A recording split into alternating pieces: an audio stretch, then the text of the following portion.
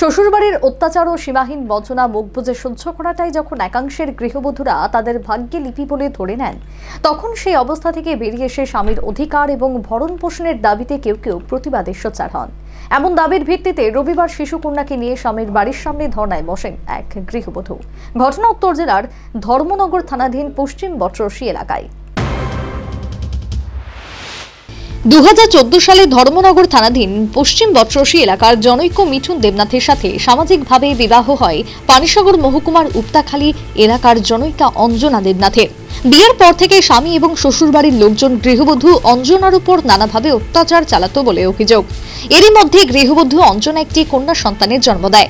গত দেড় বছর আগে স্বামী এবং তার শ্বশুরবাড়ির লোকজন গৃহবধূ অঞ্জনাকে শিশু কন্যা সহ বাড়ি থেকে বের করে দেয়।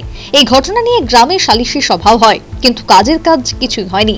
অবশেষে প্রতিবাদী গৃহবধূ অঞ্জনা স্বামীর অধিকার এবং স্ত্রীর ভরণ পোষণের দাবি নিয়ে রবিবার সকালে স্বামীর বাড়ির সামনে শিশু কন্যাকে নিয়ে ধর্নায় বসে।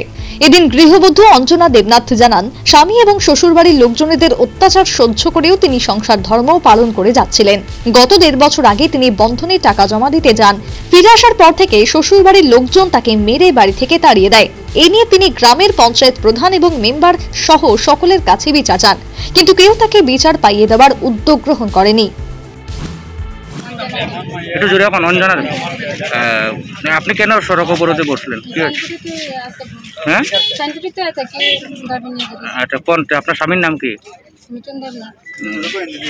কত বছর আগে আপনার বিয়ে হয়েছে? শ্বশুর বাড়ি কোন জায়গাতে?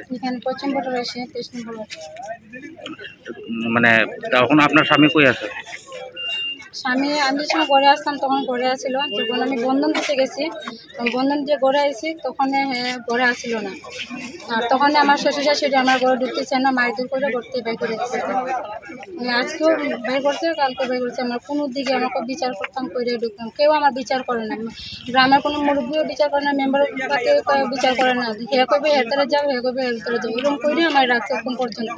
আপনার স্বামী এদিন নির্যাতিত গৃহবধূ ধর্নায় বসার ঘটনাকে কেন্দ্র করে পশ্চিম বটরশি এলাকায় চাঞ্চল্য ছড়িয়ে পড়ে।